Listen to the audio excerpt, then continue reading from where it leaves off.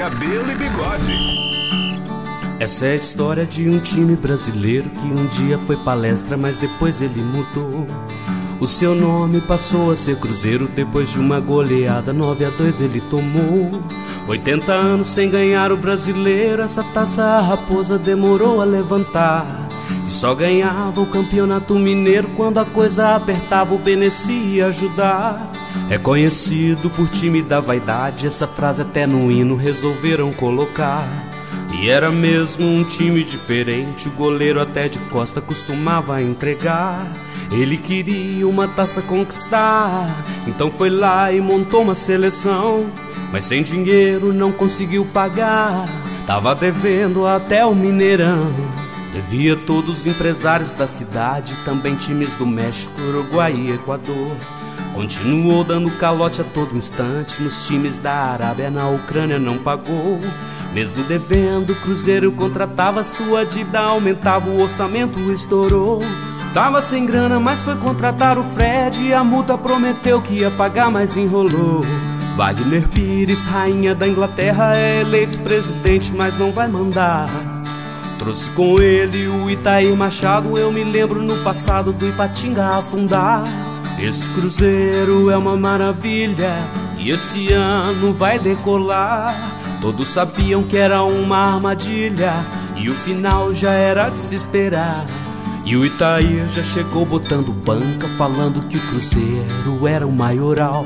Insinuou que a federação é franga e lá dentro do túnel ele até chamou pro pau. Montou sua diretoria, altos salários pra ele trabalhar. Ganhava aumento, pedia mais dinheiro, ele mesmo autorizava e recebia.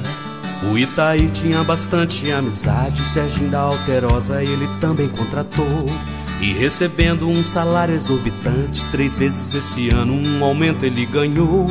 Dava dinheiro também para a torcida, o aluguel ele ajudou a pagar. Os influencers tiveram boa vida, um bom contrato o Itaí iria arrumar. E o Cruzeiro cada dia mais gastava, mas o dinheiro não dava para ele se sustentar. Até que um dia viu lá no noticiário a matéria do Fantástico, a bomba ia estourar. E a polícia então ligou o alerta e decidiu que o Cruzeiro ela ia investigar. Pro torcedor começava o pesadelo, até um conselheiro atrás das grades foi parar. Logo, logo todo mundo da cidade sabia da novidade. A polícia vem aí. E a mulher do presidente foi ligeira, recolhendo todos os documentos dali. Fez contratos até com a madeireira e o passe de criança foi negociar. E pro Flamengo perdeu a rascaeta que já tava imaginando que o barco ia afundar. Coisa pro Cruzeiro complicou e o cerco da polícia se fechou de vez. E o medo do pobre torcedor era ver o clube no xadrez.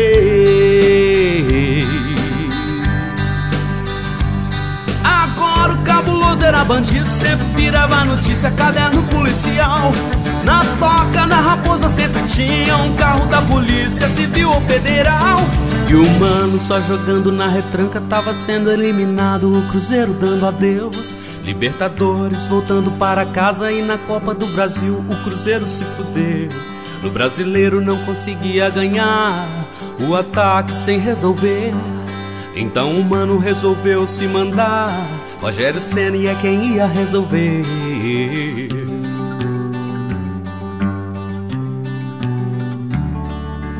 Barba, cabelo e bigode. O tempo passa então Rogério Ceni mostrava que ele não tinha o elenco na mão. Thiago Neves foi para a entrevista, detonou o treinador, olha que papelão. E o Rogério queria ajudar, e até de seu salário ele abriu mão. Mas a panela do Thiago Neves, do Edilson e do Fred dizia que não. E o Dedé então pediu a palavra, pressionou o comandante, virou um climão. Mas antes do Rogério Ceni trabalhar, o Itaí levou a sua cartinha de demissão. Você perdeu seu emprego, meu irmão. Você perdeu seu emprego, meu irmão. Tiago Neves causou a demissão. Ele queria era trazer o Abelão. Não é que Abel conseguiu vencer no Mineirão contra o São Paulo, que o Cruzeiro é freguês. Ganhou do Botafogo e do Corinthians e achou que o time dele ia subir de uma vez. Zezé Perrela quis dar uma de herói e proibiu os jogadores de dar um rolé. Mas não esperava o vídeo que receberia logo numa terça-feira e era do Dedé.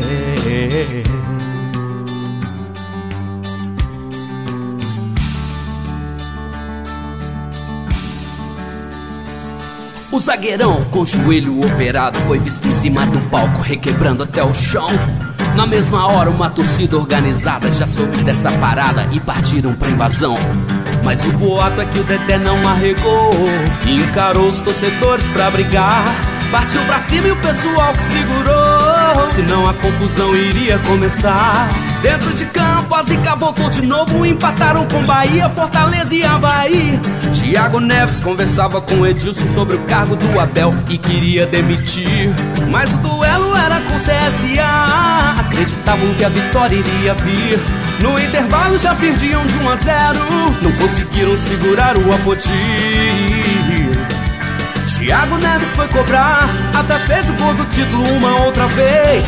Chutou pra fora, o TN isolou. Ninguém acreditou no que ele fez. Depois do jogo, faz um áudio do TN, cobrando o dirigente que o salário não pagou. No outro dia, o Abel pulou do barco, chegou pra diretoria e o cargo entregou. No mesmo dia, sem pensar duas vezes, veio o Adilson Batista pra tentar ser o salvador. Ao longo da carreira de trabalho, já foi muito rebaixado como treinador. Os cruzeirenses não sabiam o que fazer. Foram pro Rio, perderam do Vascão. Thiago Neves só queria beber na baladinha lá dentro do Mineirão. Torcida estava bem pistola, pichou o muro de Quilim e Sevandi, já não entendi. Com o Grêmio não viu a cor da bola, perderam por 2 a 0 Difícil de assistir. Edilson estava chateado, chamou o time de cabaço e começou a sorrir. A torcida do Grêmio só cantava que faltava muito pouco pro Cruzeiro cair. O Cruzeirense ainda tinha confiança que na última rodada ia sair. O torcedor no Mineirão com esperança não imaginava o que estava por vir. E quando terminou o jogo, o torcedor caiu no choro e então tremeu. Vendo o time sendo rebaixado, finalmente o Cruzeiro desceu. Cruzeiro, time grande, é coisa que você não é. Thiago Neves, fica tite não. Na Série A você já passava vergonha pra encher o seu estádio, torcedor de papelão. Cadê o Fred, o rei dos stories? Cadê o Egídio, piscininha amor? Agora você é rebaixado e pobre, o Serasa já te notificou. A CBF declarou Cruzeiro como um time rebaixado para a Série B. E o time que é cheio de vaidade vai jogar com o Operário e com CRB. E o Itair conseguiu o que queria quando foi para as Marias demonstrar poder. Agradecemos ele e o presidente que levaram o Cruzeiro lá pra série. Série B.